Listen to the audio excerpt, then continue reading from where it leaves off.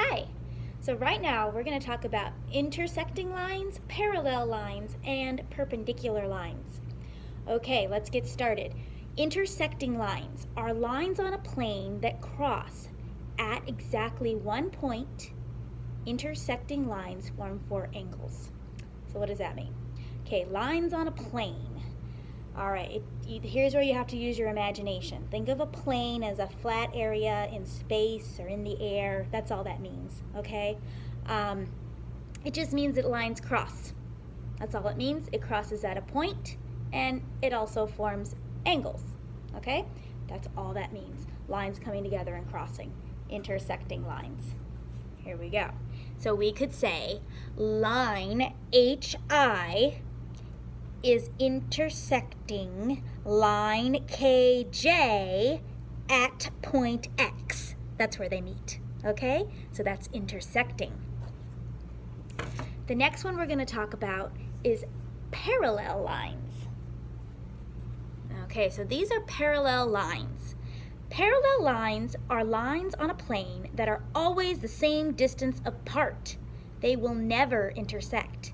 So here's where you have to use your imagination. If these lines kept going on forever, they would never cross.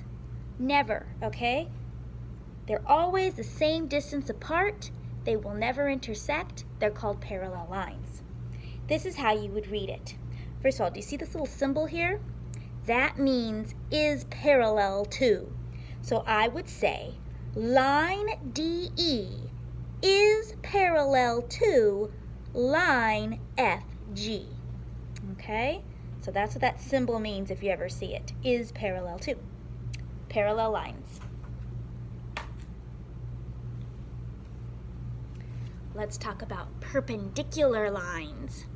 Okay, perpendicular lines, they're lines on a plane that intersect to form four right angles. So when they intersect, they cross exactly and make four right angles, okay?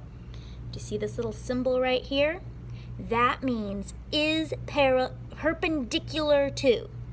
So here's how I would read it. Line NO is perpendicular to line LM.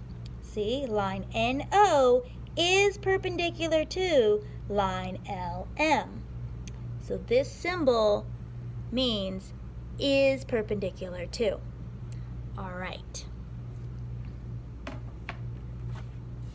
So let's talk about streets that might be perpendicular to each other. Okay?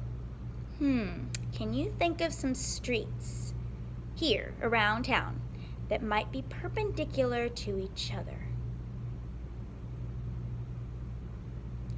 I can think of two that might be. El Camino might be perpendicular to Valparaiso. El Camino might be perpendicular to Santa Cruz. Arbor Road might be perpendicular to Santa Cruz. Maybe not exactly, but kind of seems like it. Okay, can you think of some streets around town that might be parallel to each other?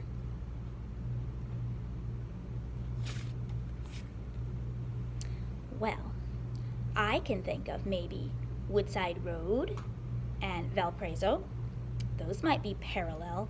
They never touch, okay? Um, maybe El Camino and Middlefield, although in parts sometimes things move around a little bit. Uh, maybe El Camino and Alameda de las Pulgas. So here's what you want to do. Why don't you go and look on a map and see if you can find some streets that are intersecting parallel, and perpendicular. All right, have fun. Talk to you soon. Bye.